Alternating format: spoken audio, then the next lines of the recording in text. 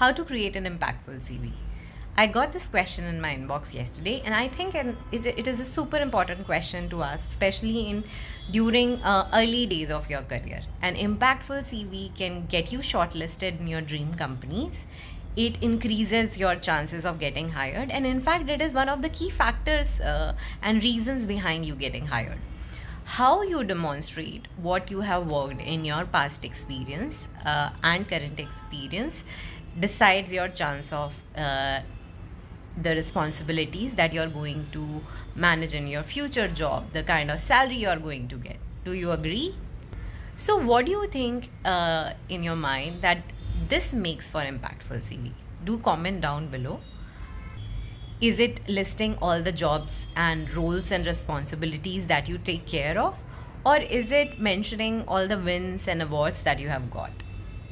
While you do that? I'll let me tell you. People are interested in knowing what are you what are the things that you were responsible for.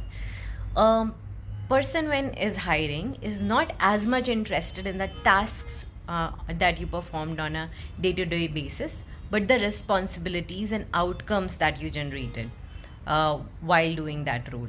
For example if you are an email marketing professional nobody is interested to know that you were uh, crafting a template, shipping an email.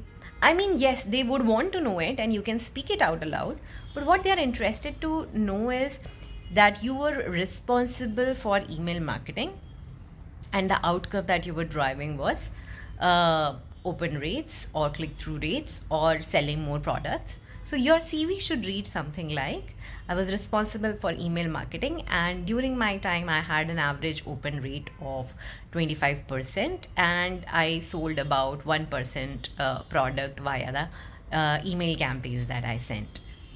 Similarly, if you are responsible for social media marketing, post creation, you wouldn't want to just write that you were creating posts, you were update uploading images on Facebook and so on and so forth you would say something like i was responsible for social media marketing. My jobs involved right from post creation to uh, driving engagement and to own all the social media metrics. During my time um, the page engagement were higher by 55% and uh, uh, we generated highest brand recall during xyz particular campaign. So you see where i'm getting to. You need to rise above thinking about tasks and talk about responsibilities and outcomes while crafting your CV. And especially when you are rising a little above a very entry level job, you are in a mid level career, it is always often good to have a summary or highlight of what you have worked in past experiences because you might have a lot of experience uh, and you might have shifted a lot of jobs and it makes a lot of sense to have a summary that covers a gist of all the responsibilities and outcomes that you have owned and managed.